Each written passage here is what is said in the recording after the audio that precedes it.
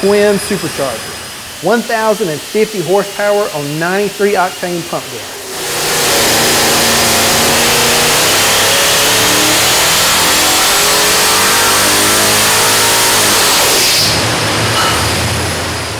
I think the words you're looking for here are bad mama jama.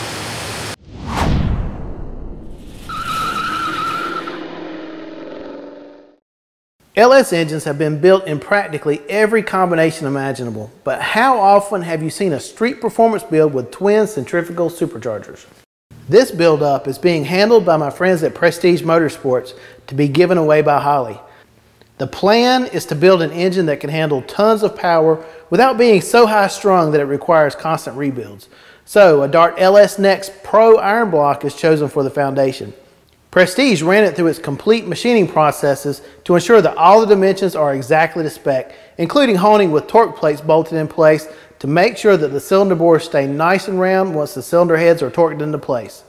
The Dart LS Next Pro iron block is obviously built for performance.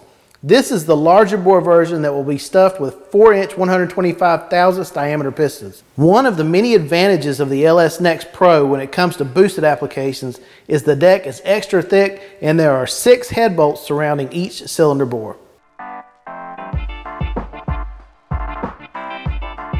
The crankshaft is a 4340 steel forging from Eagle with 4 inches of stroke.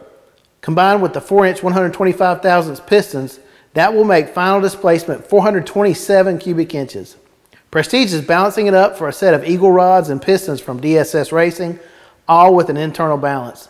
The crank has a 4-inch stroke with a standard 2.559 main journal and two 100 rod journals.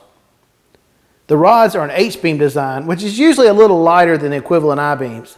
These are Eagle 4340 forgings for great strength. They are 6 inches 125 thousandths long with a 927 bush pin. You'll notice that as Cody McCleary checks the bearing clearances with the King main bearings and drops in the crankshaft, that the LS Next Pro block doesn't have the usual cross-bolted LS layout. Instead, this block has a conventional small block 4-bolt main layout. Dart says the idea is that this setup eliminates the bay-to-bay breathing window seen in the LS, allowing main webs to be much beefier and therefore stronger. Deleting the windows also allows the cylinder bores to be extended by nearly another 400 thousandths of an inch into the bottom of the block. This provides additional piston skirt support for stroker applications. As you can tell, the block uses billet steel main caps for great bottom end strength. The pistons are from DSS Racing, like I've mentioned. They are a forging using 2618 aluminum alloy and have a 29cc dish to help keep the compression at a boost friendly level. Because they will be dealing with extra heat created by the boost, the ring gaps have been opened up to 28 thousandths of an inch for the top and 30 thousandths for the second.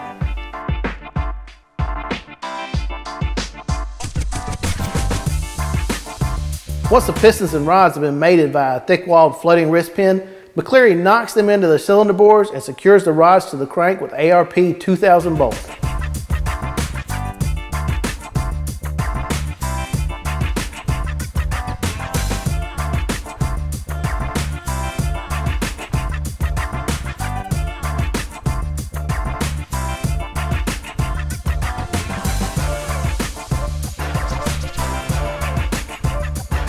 Because Prestige and Holley don't know who will be winning this engine, they're using Holley's retrofit oil pan. Unlike a stock pan, this Holley cast and machine pan will provide maximum clearance to the chassis and should fit most GM rear-wheel drive vehicles that either use a small or a big block.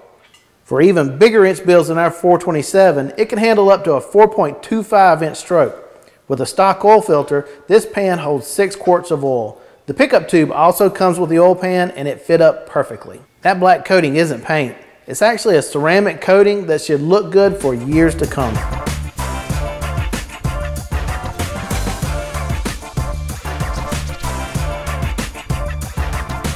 The cylinder heads are Prestige Motorsports' own brand new castings. These are LS1 cathedral port style heads with a few updates to both the ports and chambers. The valves have been stood up a little straighter at 11 degrees versus a stock 15 to help airflow, and the intakes are sized at 2 inches 55 thousandths, while the exhausts are an inch 590 thousandths, both of which are bigger than stock. These are as-cast cylinder heads that flow practically like ported heads because the investment casting quality in the ports and chambers are so good.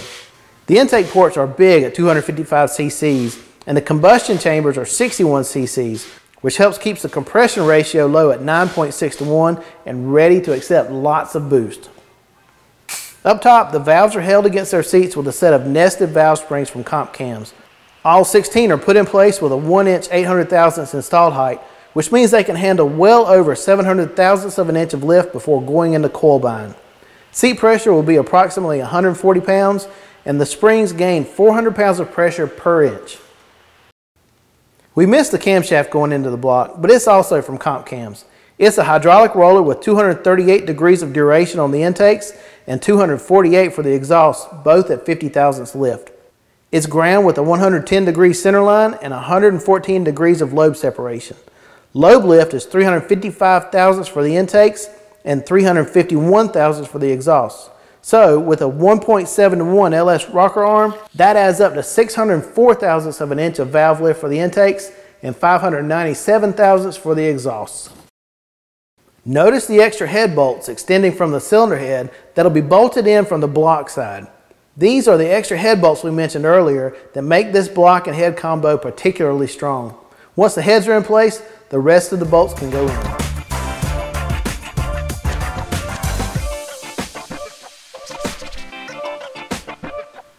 With this look into the lifter valley, you can see the plastic lifter guides that have been bolted in on the right.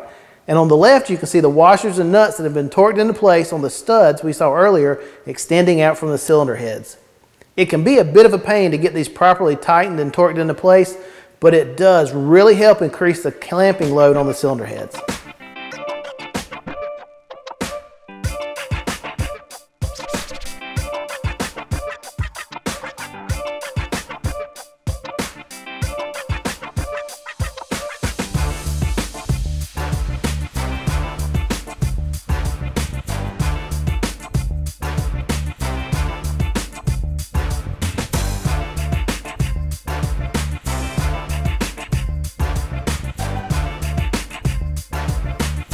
Once the cylinder heads are secured, assembler Larry Broker turns his attention to the valve train. First up are the rocker bars, followed by a set of one-piece push rods. GM's engineers did a fantastic job with the LS rocker arm design. They're relatively lightweight and don't flex, so for this build a set of stock replacement rocker arms are used. But Prestige did upgrade the trunnions with a kit from Brian Tooley Racing which frees up motion of the rocker by using needle bearings in the trunnion and also helps improve overall valve train stability. Remember, this is a street-friendly hydraulic roller setup. So after attaching the rockers to the rocker stand, Broker tightens down each rocker until they just make contact with both the valve stem on one side and the tip of the push rod on the other. By gently spinning the push rod as he tightens the rocker, you can tell when the rocker arm starts to make contact. Then he gives the rocker bolt another quarter turn to set the plunger in the hydraulic lifter. Holley's modular low ram intake manifold is going to help move air from the superchargers to the combustion chambers. A great feature is the O-ring surfaces so you don't have to worry about an intake gasket leaking on you. As you can see, the fuel rails have already been installed along with the 1000cc fuel injectors. Notice how even though this is a low ram intake, the runners actually extend into the plenum a bit to help keep the runners just a little bit longer. This will help the low end response for a good torque off the line. Also notice that the entrances to the runners are curved for good healthy airflow into each port. The seal for the plenum top is also a simple and dependable O-ring. This plenum works with a Holley 105mm billet aluminum throttle body which moves tons of air.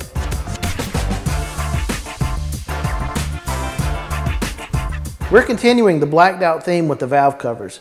These are Holley's two-piece aluminum valve covers and Broker bolts the MSD coils to them before covering them up with the top half which really cleans up the look of the engine.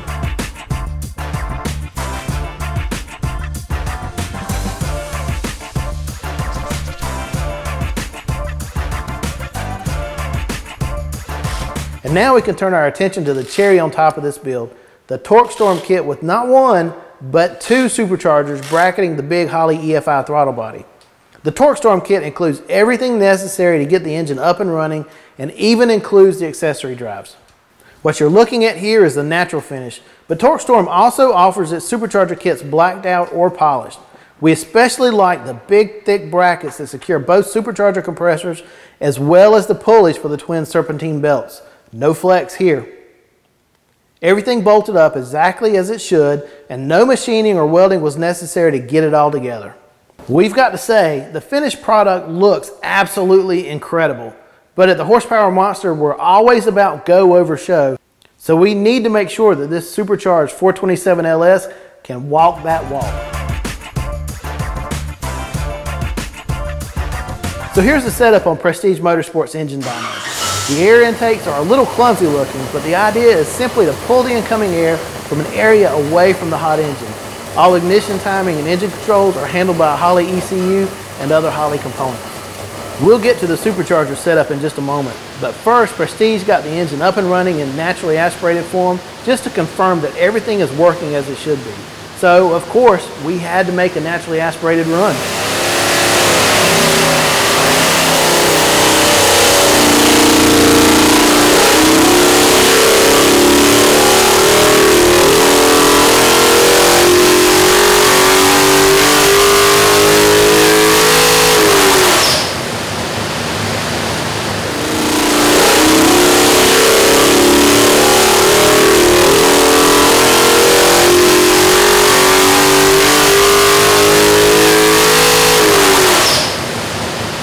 512.2 horsepower at 6,000 RPM and 491.1 foot-pounds of torque at 4,900 RPM. Not bad considering the engine has a super low 9.6 to 1 compression ratio because we know we'll be adding boost. So that was really just the pre-show, if you will, a baseline to see how much the TorqStorm superchargers can help. TorqStorm provides everything you need in its supercharger kits, including two blow-off valves, but we didn't want to cut or weld on anything because we don't know the vehicle the winner of this engine will want to put it in or the exact configuration. So Prestige pieced together this setup for testing.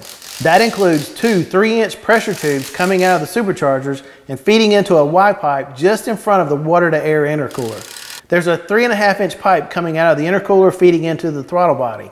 A single large blow-off valve is used so with all the tubing connected and the flex couplings tightened down, Prestige checked back over the tube one more time and we were ready to make pulls.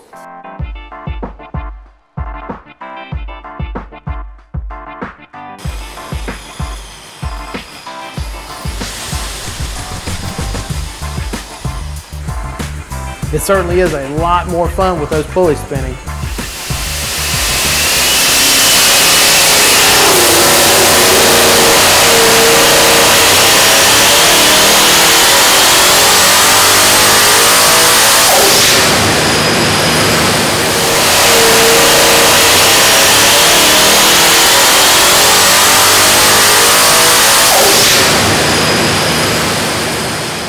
We had the supercharger set up with TorqStorm's three and a quarter inch diameter supercharger pulleys, and we saw slightly over 15 pounds of boost by the end of the pull at 6,700 RPM.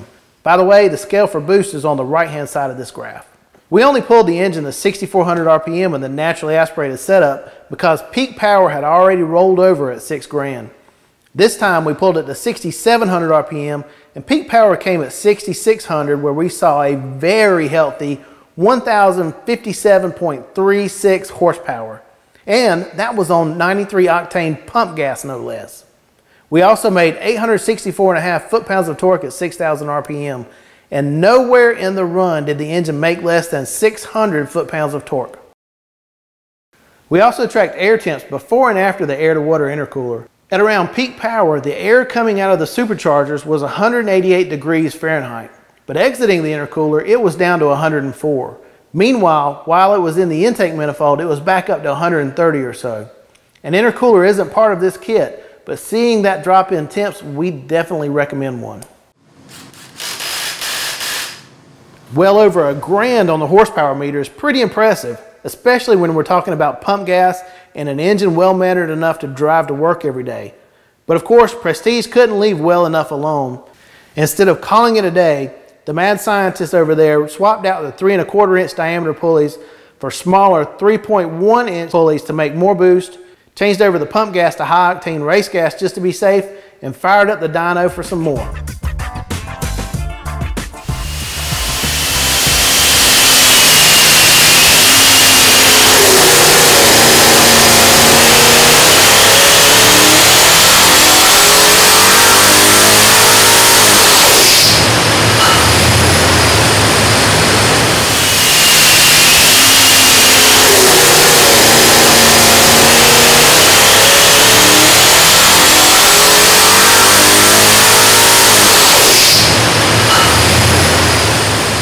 This time we saw an increase in boost of about three pounds, up to 18.2 by the end of the pull. That translated to 1,133.4 horsepower at 6,500 RPM and 944.5 foot-pounds of torque at 6,100 RPM. So that equals improvements in the peak numbers of 76 horsepower and 80 and a half foot-pounds of torque. Plus, across the range from 3,500 to 6,700 RPM, the average power increased by 49.7 horsepower. All that with less than 20 pounds of boost and on a power plant that isn't high strung like a full bore race engine and can go years between rebuilds. Still, we wanted to try one more test before calling it a day. All along, we wondered how the longish intake tubes between the air filters and the superchargers affected power. So we cut some tubing down to the absolute minimum length while still angling them up to get the air coming into the engine away from the hot headers.